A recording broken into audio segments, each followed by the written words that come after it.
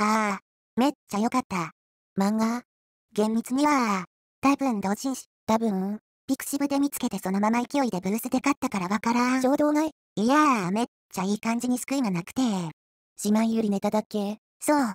片方がお盆に帰ってくる話。もうそれだけで重い。重いくらいがちょうどええんよ。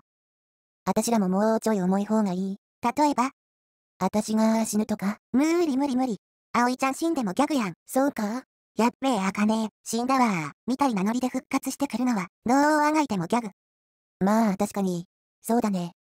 あたしは世界で数少ない。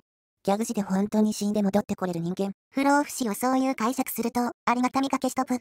残機無限はありがたいのよ。そういう言い方にありがたみがないのよ。ちゃうんよ、葵ちゃん。何が違うのよ、あかねちゃん。ちゃんをつけるな気持ち悪い。あかねはつけてるじゃん。うちはええの。言われ慣れない呼び方で呼ばれんのが嫌なんよ。ええー、文句が多いな。葵。やめろその街がトーン。せやろ？ドキッとするから。せやろ